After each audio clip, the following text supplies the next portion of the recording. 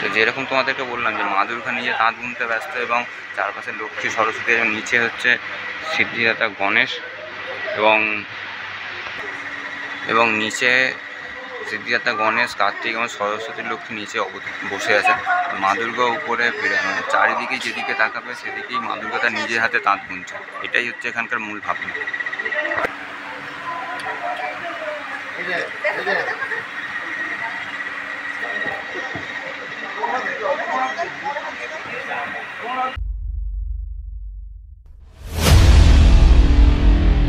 আমি এখন যেখানে আছি সেটা হচ্ছে আলিপুর সর্বজনীন এবং এবারে যাদের চিন্তা ভাবনা হচ্ছে মগের মূল তো আর কথা না বাড়িয়ে চলো, ভেতরে তো দেখো যেটা তোমাদেরকে বললাম যে আলিপুর সর্বজনীনে এবারে ওদের চিন্তা ভাবনা হচ্ছে মগের মূল আর ঠিক এইদিকে সোজা চলে গেলে তোমার চেতলা, যে চেতলা দুর্গাপুর ব্রিজ আছে সেটা। আর এইদিকে হচ্ছে তোমার ওই আলিপুর সর্বজনীন। তো চলো রাস্তাটা ক্রস করে ওই পারে যাওয়া যাক। তো আমরা ঢুকছি আলিপুর সর্বজনীনে।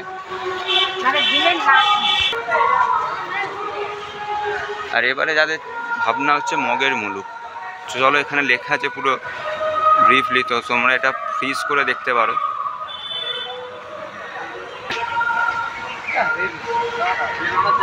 তো এবারে আসছে, ভেতরে ঢুকছি, দেখো। সামনেই দেখতে পাচ্ছ লেখা আছে মগের মুলুক বলে এবং সেটা হচ্ছে নৌকার যে নাঙর হয় সেটা যেরকম নদীতে ফেলে রাখে তো এখানে ফেলে রেখেছে। তো এবার যাচ্ছি ভেতরে, আস্তে আস্তে দেখাচ্ছি।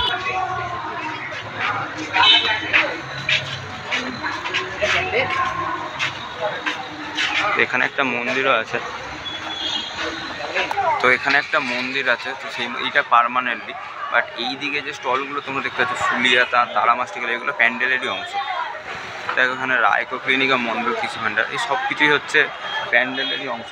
আর যে তোমাদেরকে বললাম যে ঢোকা, গেটে ঢোকার মুখেই হচ্ছে একটা নৌকা নাও আছে তো সেটা হচ্ছে অ্যাকচুয়ালি এদের প্যান্ডেলটা হচ্ছে একটা নৌকার আকারে করেছে।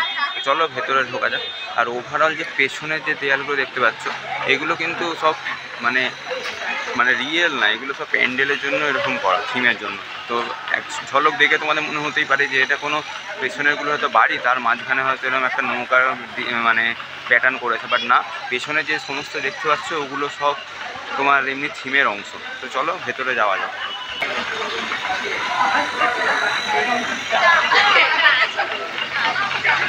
আর এখানে দেখো, একটা ইনস্টলেশন আর্ট এখানে তোমরা দেখতে পাচ্ছ এটা অবিরাম ঘুরে চলেছে।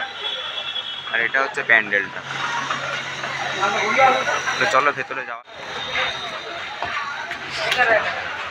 তো চলো ভেতরে যাই। আর এখানে দেখো বিয়ারিং এর দ্বারা এইটা পুরো অবিরাম ঘুরে চলেছে, দেখো তোমার আর পুরো প্যান্ডেলটাই কাঠের। অসাধারণ করেছে ভেতরে। তো এবারে এদের চিন্তা ভাবনা হচ্ছে মগের মুলুক।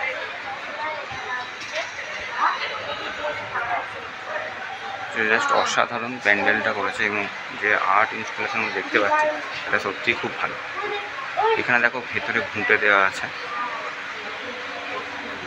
আর এখান থেকে দেখো দে দেবী মূর্তি।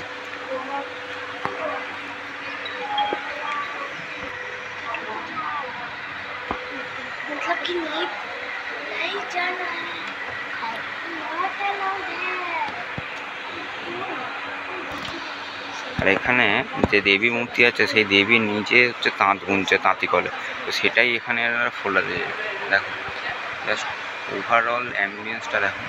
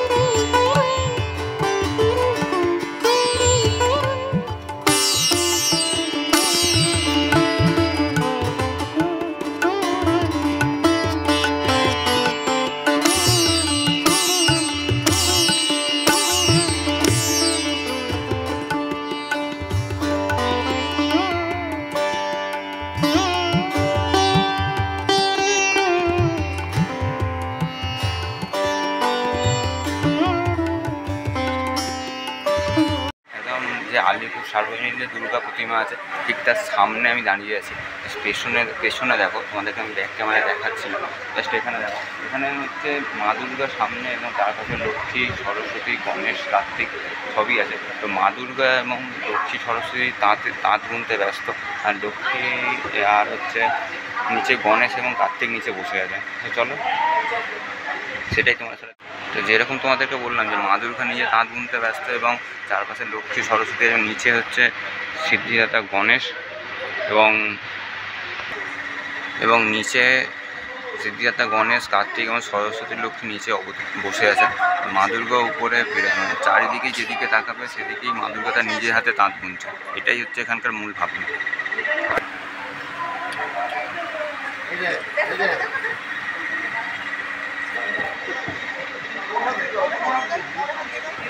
এখানে দেখো মানে এখানে যে মানে খড়ের গাদার মতো যে ইনস্টলেশন মানে ছোটোবেলায় খড়ের যে গাদা দেওয়া বলে, সেরকম খড়ের গাদাটা চারপাশেই হচ্ছে মা দুর্গা আছে। মানে শুধু একদিকে যে তাঁত বুনছে এরকম না, এক হাতে তাঁত বুনছে, অন্য হাতে মানে যে মা দুর্গা যে তার নিজের দশ হাতে যে পৃথিবীকে রক্ষা করাচ্ছে সেটাই এখানে ফুটিয়ে তোলার চেষ্টা করেছে শিল্পী তো দেখো, সেটাই তোমাদেরকে ঘুরিয়ে দেখাচ্ছে। আর নিচে হচ্ছে লক্ষ্মী সরস্বতী এখানে বসে আছে। তো ওভারঅল কনসেপ্টটা খুব সুন্দর এখানে।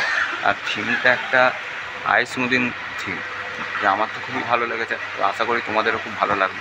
তো আসো এখানে আলিপুর সর্বজনীন চেতলার কাছেই। আলিপুর সর্বজনীন থেকে জাস্ট বেরোলাম। তো থিমটা আমার খুবই ভালো লেগেছে। তো আশা করি তোমাদেরও ভালো লাগবে জায়গাটা। এদের থিমের নাম হচ্ছে মগের মূল্য। তো এখানে পুরো ঢোকার আগেই পুরো ব্রিফলি ডেসক্রিপশন লেখা আছে, সেটা তোমাদের সাথে শেয়ার করেছি। আর যারা দেখতে যাও, তো তারা অবশ্যই আসো। চেতলার চেতলার কাছে চেতলা অগ্রণী, পাশাপাশি কয়েকটা পুজো আছে, চেতলা অগ্রণী, চেতলা প্রধান গোষ্ঠী এবং এই আলিপুর সর্বজনীন। তো আর কথা বাড়াবো না, ভিডিওটা এই পর্যন্তই থাক। এবং এরকম আরও কিছু চমকের ভিডিও পেতে হলে আমাদের চ্যানেলের পাশে থাকুন সাথে থাকুন